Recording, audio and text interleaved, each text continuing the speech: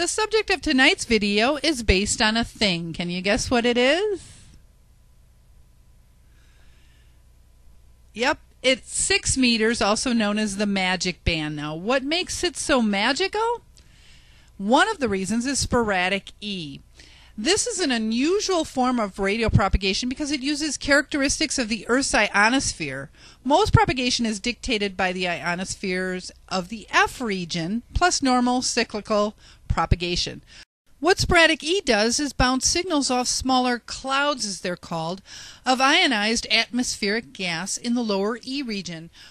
Now, these clouds are only about 55 to 100 miles up, which makes these openings very interesting. You could work a guy in New Mexico and not hear the guy next door in Texas. Or with a double hop, you could work the world. Jerry just did his 122nd country on six meters. So it's a pretty interesting band for all around. The other interesting thing Six meters is available to extras, generals, and technicians, as well as any advanced classes still out there. Uh, there is a section reserved for the DX to call CQ, and that's 50.110 through 50.120. Uh, but you can call CQ anywhere above that on phone. For best DXing, you're going to want a horizontally polarized antenna. Now, Jerry and I just ordered this very antenna and hope to have it up soon, but you don't need anything as extravagant as that.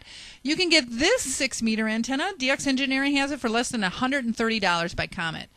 Also, for you homebrewers out there, you're going to want to remember this website because he has links to all kinds of homebrew projects from amplifiers and radios to antennas for every band. Plus, June and July is the best time of year for sporadic E. So, you know what that means? That means it's the perfect thing to have at your field day. And guess what? It's a free station. And what do I mean by free? Well, at field day, if you're a class A entry, you can have that free go to station, but you can also have another free station if it's 50 megahertz or up. And the next reason so magical, you never know when it's going to come and how long it's going to last. So I'm going to demonstrate for you some of the magic or mystery of six meters in an hour and a half period. I'm going to show you what the bands look like today, Sunday, June 21st, which is Father's Day. Happy Father's Day, everybody. And the first day of summer, and it's 1800 UTC. And as you can see, there's some signals down in CW or the digital portion, but not a lot going on up here on sideband. But on six meters, that can change. Okay, now here's what it looks like at 1830 UTC. So just a half hour later. Now, on sideband 50.110 through 50.120 is the DX calling frequency.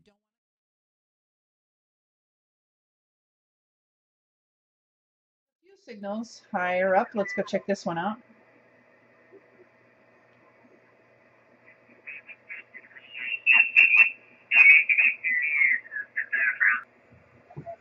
Um, dipole's working good. Uh, you should be able to make contacts today. Band has been open. Uh, East Coast guys been working Europe, which is, I think, the first. And um, I'm hearing stuff off the back, uh, California, Washington, Oregon, and uh, I'm hearing the XC2 beacon in here. It's uh, down around 50.015 or something like that. Anyway, it's here them. But uh, anyway, this is the kind of conditions that you can work out even with the dipole. W0 TTT, Claire QZ. Okay, here it is now, 1930 UTC. And look at the bands now. The pool, but it would be down to the, the south face the side of the beaches down there in uh, North Carolina for sure. I have, uh, I have. in New Hampshire.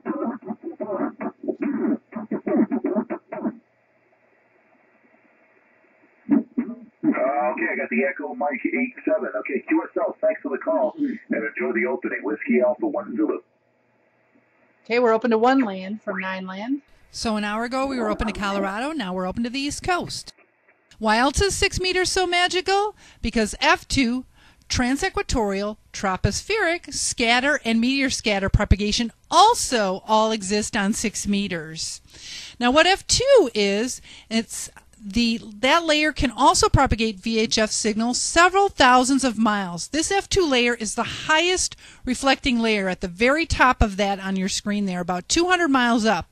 Now, when sunspot activity is high, the F2 layer can become intensely ionized due to radiation from the sun.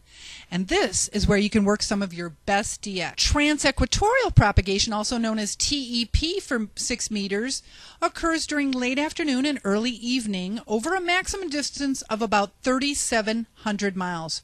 What happens, they believe, is a high electron concentration is found on each side of the magnetic equator, usually between 10 to 20 degrees latitude. Tropospheric ducting is where propagated signals travel in part of the atmosphere in a warm, high pressure system. This is most prevalent during the summer and fall months. Now, scatter is where your radio signal will intersect with another radio signal. And where they intersect, usually only about six miles up, is where you have scatter and you can work each other. Now, with meteor scatter, you're bouncing off the ionized trail left behind the meteor. If you ever hear that guy out there for like two seconds, as clear as can be, and then he's gone, you're both working off the same ionized trail of the meteor. And for those of you who really like a challenge, there's also moon bounce on six meters. So get out, play on six meters, and you'll understand why they call it the magic band.